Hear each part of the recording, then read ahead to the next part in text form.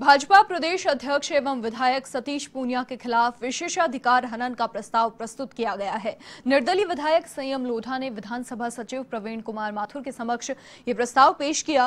विधानसभा अध्यक्ष सीपी जोशी के निर्देश पर संयम लोढ़ा ने विधानसभा प्रक्रिया और कार्य संचालन नियम एक सौ अट्ठावन के अंतर्गत ये प्रस्ताव विधानसभा सचिव को सौंपा। आपको ये भी बता दें कि कल बीजेपी प्रदेश अध्यक्ष सतीश पूनिया ने राज्यसभा चुनाव को लेकर सरकार पर यह आरोप लगाया था कि चुनाव के दौरान बाड़ेबंदी में तेईस विधायकों को खान रिको में प्लाट आवंटित किए गए थे और जिसके बाद निर्दलीय विधायक संयम लोढ़ा ने विशेषाधिकार हनन का प्रस्ताव प्रस्तुत किया। पुनिया ने आरोप ये लगाया था कि कांग्रेस विधायकों के 10 दिन की बाड़ेबंदी के दौरान डील हुई है। वहीं संयम लोढ़ा ने अपने नोटिस में ये कहा कि विधायक के रूप में विधानसभा की सार्वभौमिकता और प्रतिष्ठा बनाए रखना उनका कर्तव्य है।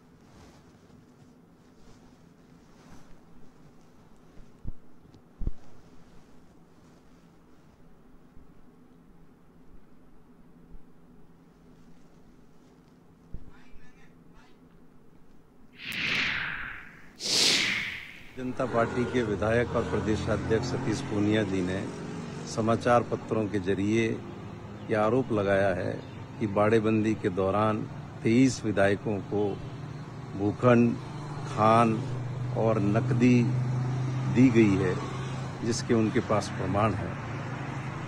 जबकि ये पूरी तरह से निराधार और गलत है। उनके इस तरह के आचरण से राजस्थान विधानसभा की प्रतिष्ठा गिरी है। सभी विधायकों की छवि धूमिल हुई है। अधिक अपडेट के लिए हमारे संवाददाता दिनेश कसाना फ़िलहाल फ़ोन लाइन पर हमारे साथ जुड़ चुके हैं। दिनेश देखिए संयम लोढ़ा जी का यहाँ पर यह कहना है कि सतीश पूनिया जी ने आरोप ये लगाया कि तेईस विधायकों को बाड़ेबंदी के दौरान प्लाट और साथ ही नकदी भी यहाँ पर देने की बात हुई और उनके पास प्रमाण भी है। क्या पूरी अपडेट इस मामले में? देखिए मनीषा हाल ही में राज्यसभा की तीन सीटों के लिए जो राज्यसभा चुनाव हुए हैं उसको लेकर कल सतीश पुनिया जो बीजेपी के प्रदेशाध्यक्ष हैं और आमिर से विधायक है उन्होंने सरकार पर यह आरोप लगाया कि राज्यसभा चुनाव में सरकार ने जो कांग्रेस विधायकों की बाड़ेबंदी की कांग्रेस ने तो उसमें तेईस जो विधायक हैं उनको खान और रिको में प्लॉट आवंटित किए साथ ही कुछ के कुछ विधायक हैं उनका कैश ट्रांसफ़र भी किया गया है कैश ट्रांजेक्शन भी हुए हैं।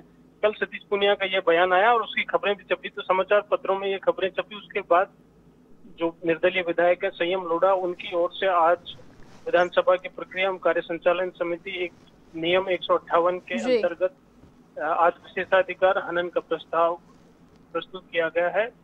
विधानसभा अध्यक्ष है सीपी जोशी। उनके निर्देश पर उन्होंने विधानसभा सचिव प्रमिल कुमार माथुर को यह प्रस्ताव सौंपा है। साथ ही जो निर्दलीय विधायक है संयम लोढ़ा उन्होंने कहा है कि विधानसभा की सार्वभौमिकता और प्रतिष्ठा बनाए रखना सबका कर्तव्य है। लेकिन सतीश पुनिया का यह बयान है पूरी तरह से झूठे आरोप लगाए गए हैं और यह विधानसभा की प्रतिष्ठा को कलंकित करने वाले करने का प्रयास हुआ है। ऐसे में उन पर विशेषाधिकार हनन का प्रस्ताव प्रस्तुत किया गया है और उस पर कार्रवाई की मांग की। दिनेश सतीश पूनिया की यहाँ पर क्या प्रतिक्रिया? क्योंकि उनका तो यहाँ पर ये भी बयान सामने कि उनके पास प्रमाण है।